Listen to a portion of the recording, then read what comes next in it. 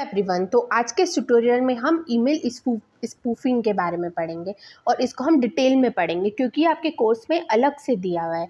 तो हम इसमें पढ़ेंगे कि what is email spoofing email spoofing होता क्या है? और कोई भी हैकर है या कोई भी ऑफेंडर ईमेल स्पूफिंग करता ही क्यों है? किस रीज़न से करता है?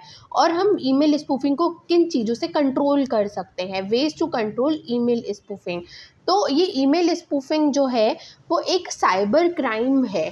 ठीक है, और ये सिक्स क्लासिफिकेशन है साइबर क्राइम का। फाइव क्लासिफिकेशन हमने इसके पहले वाले लेक्चर में देखे थे, अब हम सिक्स क्लासिफिकेशन देख रहे हैं।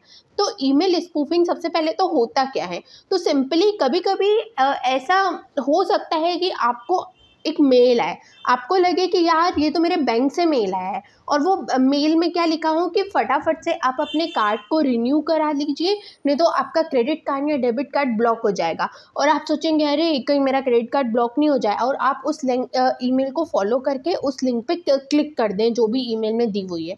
तो एक्चुअली आपको फिर बाद में जाके कहीं आपके साथ फ्रॉड हो और आपको पता लगे कि, अरे, ये बैंक ये मेल तो मेरे बैंक से आया ही नहीं था। ये तो एक स्पूफ्ड मेल था ये ओरिजिनल सोर्स नहीं आया था ये किसी हैकर ने मुझे दिया था या किसी क्रिमिनल ने मुझे दिया था ठीक है? तो ईमेल स्पूफिंग क्या होता है? Email spoofing in the act of sending email with the forge sender address forge मतलब अननोन सेंडर एड्रेस या अनरियल ठीक है?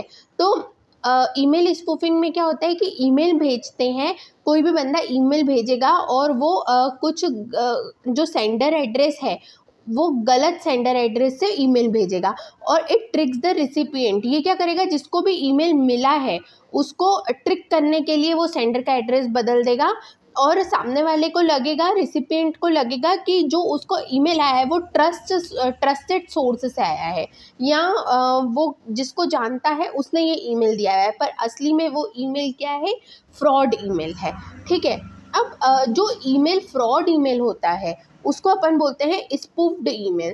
तो स्पूफ्ड ईमेल की डेफिनेशन क्या होती है? Spoofed email is the one that appears to originate from one source कि ऐसा किसी, अगर अपन को ऐसा लगे कि ये नहीं, ये तो हम, एक हमारी बैंक से आया है या पेटीएम से आया है तो वो एक सोर्स से आता हुआ दिखे बट एक्चुअली वो किसी और ने भेजा है आपको फंसाने के लिए।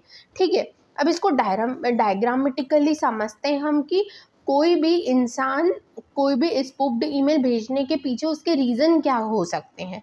ठीक है तो मान लो आपको ये ईमेल आया हुआ है और ये ईमेल ईमेल का हेडर मतलब कि सेंडर का एड्रेस चेंज कर दिया है ताकि वो लगे कि वो रियल सोर्स से आया है। ठीक है तो ये क्या है? ये स्पूफ्ड ईमेल है, ये ओरिजिनल सोर्स से नहीं आया है, ये किसी फेक सेंडर से आया है। तो ये तीन कारणों से उस फेक सेंडर ने ईमेल भेजा हो सकता है।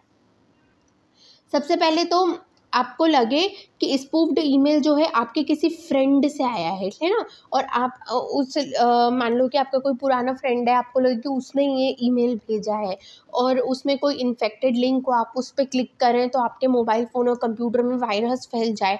तो दूसरा रीज़न क्या हो सकता है कि आपको ऐसा लगे कि ये जो ईमेल है वो मेरे सीईओ कंपनी के सीईओ से आया है और वो मेरी कंपनी का कोई सेंसिटिव डेटा मांग रहा है है ना? कोई इन्फॉर्मेशन मांग रहा है और आप कंपनी की इन्फॉर्मेशन उस ईमेल में रिप्लाई कर दें, ठीक है? तो spoofed email from CEO requiring company sensitive data आपको कंपनी का सेंसिटिव डेटा देना तो नहीं चाहिए बट आप इससे बेवकूफ़ बन जाए और उस पर कंपनी के डेटा भेज दें उस ईमेल के ऊपर। ऐसा सोच के कि तो हमारे सीईओ से आया है। उसके बाद spoofed email from bank asking for bank credentials और तो इस फॉर uh, एग्ज़ाम्पल आपको ऐसा लगे कि ये जो ईमेल है वो मेरे बैंक से आया है और वो बैंक का यूज़र नेम पासवर्ड चेंज करने के लिए बोल रहा है मान लो। तो एक तरीके से आप अपने क्रेडेंशियल्स उस ईमेल में आप uh, दे दोगे ठीक है? तो ये ये एग्ज़ाम्पल हो सकते हैं एक स्पूफ्ड ईमेल के। अब उसके बाद रीज़न कोई भी हैकर होगा या कोई भी स्पूफ्ड ईमेल भेजेगा ही क्यों? सबसे पहला सबसे पहला और एक कॉमन सा रीज़न होता है कि हम सेंडर एड्रेस को चेंज करके ईमेल भेजेंगे क्यों? मान लो कि किसी को अपनी आइडेंटिटी को हाइड करना है। वो नहीं चाहता कि आपको पता लगे कि वो कौन है। मान लो कि कोई पर्टिकुलर बंदा है, वो आपको कुछ सीक्रेट बताना चाहता है किसी बंदे के मामले में, लेकिन वो ये नहीं चाहता है कि आपको पता लगे कि वो सीक्रेट वो ही बता रहा है। तो सबसे पहला रीज़न क्या हो सकता है? Hiding the sender's true identity मतलब जो सेंडर चाहता है कि वो मेरी आइडेंटिटी हाइड हो जाए। अब सिंपली इस टाइप के स्पूफ ईमेल भेजने के लिए सेंडर को क्या करना पड़ता है? एक एनोनिमस मेल एड्रेस को रजिस्टर एनोनिमस मतलब the mail address without any name ठीक है? बिना किसी नाम आ, नाम का जो मतलब आप किसी को जानते नहीं हो कुछ भी A B C X Y Z ऐसा मेल एड्रेस जो सेंडर है वो रजिस्टर कर देगा और ईमेल उस मेल एड्रेस से सेंड कर देगा। उसके बाद सेकंड है कि pretend to be a trusted person जो ऑफेंडर होगा जो स्कैमर होगा वो ये दिखाना चाहता है कि नहीं मैं तो ट्रस्टेड पर्सन हूँ। फॉर एग्ज़ाम्पल कि आपको एक मेल आया। आपको लगे कि ये मेरे किसी दूर के दोस्त से आया है ठीक है? और उसको बहुत ज़्यादा पैसों की ज़रूरत है और आप उसमें पैसे सेंड कर दें। तो scammers use spoof email to pretend to be like a friend और colleague asking for a money for personal information तो स्कैमर्स क्या करेंगे? आ, ऐसा मतलब प्रिटेंड करेंगे कि वो एक ट्रस्टेड पर्सन है और आपसे पैसों की मांग कर सकते हैं। उसके बाद स्पूफ ईमेल भेजने का थर्ड रीज़न क्या हो सकता है कि स्कैमर्स को प्रिटेंड करना है कि ईमेल जो है वो ट्रस्टेड ऑर्गेनाइजेशन से आया है। फॉर एग्जांपल आपके बैंक से आया है।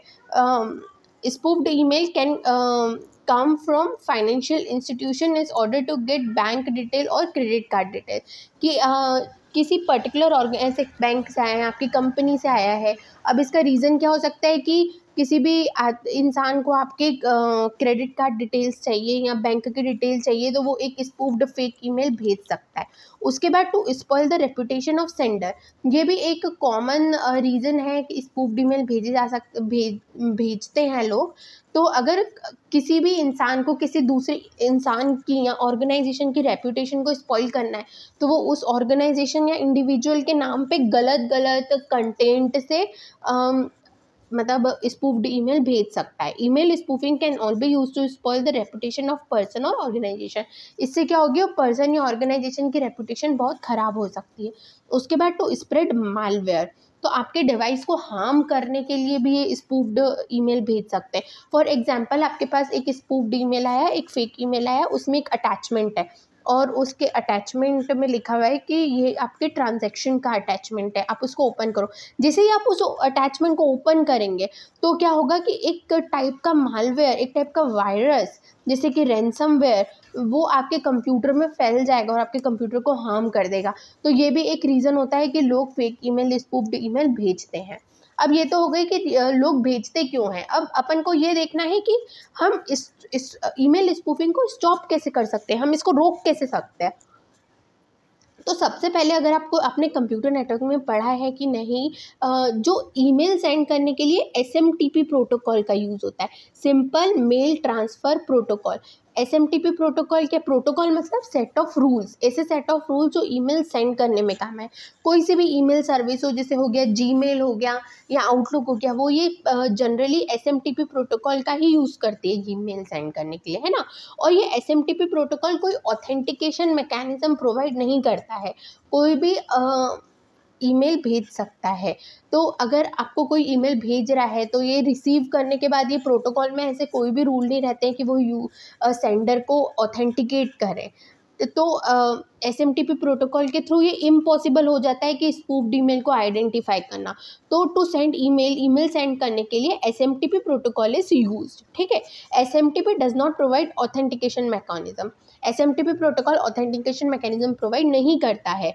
तो it is not possible to identify spoofed email या इस तो हम S M T P protocol जो जनरली यूज़ होता है इससे स्पूफ्ड ईमेल को आइडेंटिफाई नहीं कर सकते। अब अगर स्पूफ्ड ईमेल को आइडेंटिफाई करना है और extra layer of security provide करना है आपके ईमेल सर्विस प्रोवाइडर को तो उसे इन तीन तीन चीज़ों में से कुछ ना कुछ तो उसके सर्विस में इम्प्लीमेंट करना पड़ेगा। मान लो गूगल गूगल को अगर एक्स्ट्रा सिक्योरिटी प्रोवाइड करना है तो उसको sender policy framework S P F वो क्या कर सकता है? ये एस पी एफ़ को इंस्टॉल कर सकता है, ठीक है? अब ये जो ये जो टूल्स इंस्टॉल करेंगे, वो हम नहीं कर सकते। एज ए यूज़र हम नहीं करेंगे। जो, जिसकी ईमेल सर्विस हम यूज़ कर रहे हैं, जैसे कि जीमेल वाला हो गया आउटलुक हो गया माइक्रोसॉफ्ट वाला वही इन एक्स्ट्रा फीचर्स को इंस्टॉल करेगा। Sender policy framework domain key identified mail और रिपोर्टिंग एंड कॉन्फॉर्मेंस तो the email service provider need to implement additional measure to counter the spoofing email spoofing ठीक है? और ये तीन चीज़ें वो इम्प्लीमेंट uh, कर सकता है। तो अगर आपको मेरे ये नोट सिंपल लग रहे हैं तो मेरे चैनल को सब्सक्राइब और मेरे वीडियो को लाइक करना। तो अगले लेक्चर में मिलते हैं। आज के लिए बस इतना ही। Thank you